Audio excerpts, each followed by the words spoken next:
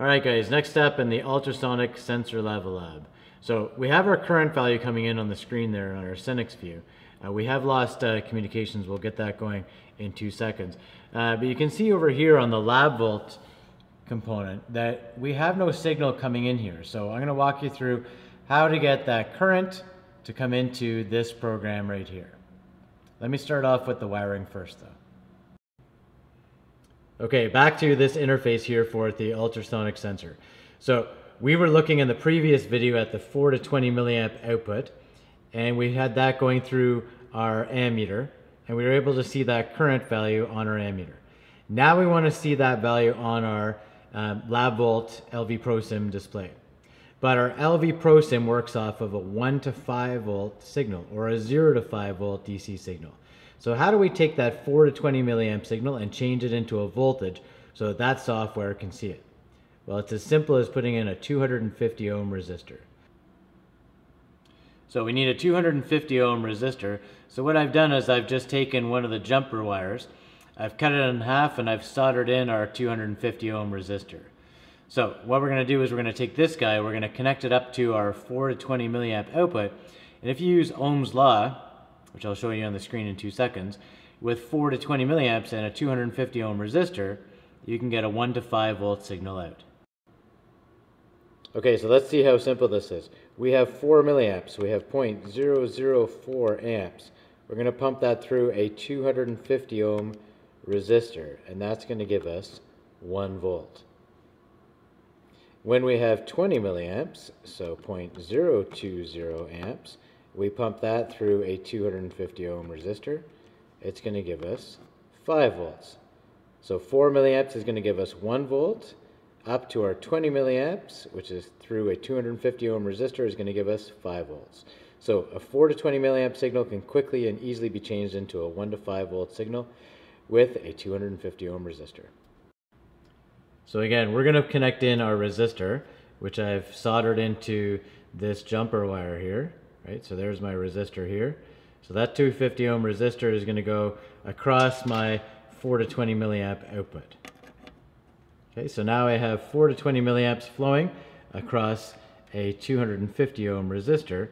And if I just take the voltage readings across these two terminals, I should be able to read 1 to 5 volts out.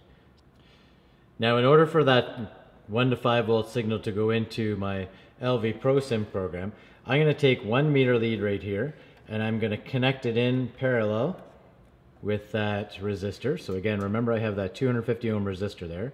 And I'm going to take that lead right there and I'm going to put it into this terminal right here on my I.O. interface. So right now I have my input number one and I'm going to connect it into input number one on my I.O. interface, making sure that the dip switch above is set for 5 volts. Okay, in order to reference the other side, I'm going to take the negative and connect it into the common. Okay, so I'm going to connect up another lead. Just grabbed a red, should have grabbed a black, but this is the only one I could find. So I'm going to take another lead and I'm going to reference that down to the negative of my power supply. So I'm going to put that guy right there. And that way I'll be able to look at the voltage. You can see now that uh, the common here on my 4 to 20 milliamp output is referencing the common on my power supply and that power supply is also referencing the same common on my I.O. interface. So all of my commons are jumpered together. If you don't jumper all your commons together, uh, you're going to get some funky voltages happening. Okay, next step, we're going to connect the meter in so we can actually look at that voltage and make sure it's the same as what we're going to see on the computer screen. You'll notice that from the previous lab where we looked at current, let me just zoom in here. So from the previous lab where we looked at current, I took that meter lead out of the 400 milliamp terminal here and I brought it back to the voltage terminal. Okay, we're going to be in parallel with that resistor. We're going to see that voltage uh, and that voltage is going to be a DC voltage. So we're going to change this to reference DC voltage. Okay, then we're going to take our meter leads and we're going to go in parallel with our 250 ohm resistor. Okay, so my meter leads are now referencing the same voltage as I have across my resistor. So you can take a meter reading here across your 4 to 20 milliamp output, or you could also take a meter reading uh, between this terminal right here and your common, because those essentially are the exact same two wires. Okay, we have a mess of wires going around now. Uh, now that everything's connected up and our meter has been switched over to DC voltage, now we're going to turn this guy on. And remember from the previous uh, labs, once I turn that power off, I lost communication with the ultrasonic sensor. So let's get that rock and rolling and then we'll be able to see that voltage come in on the meter. All right, beauty. It looks like as soon as I turn that power on, uh, then the, the communication with the ultrasonic sensor was restored.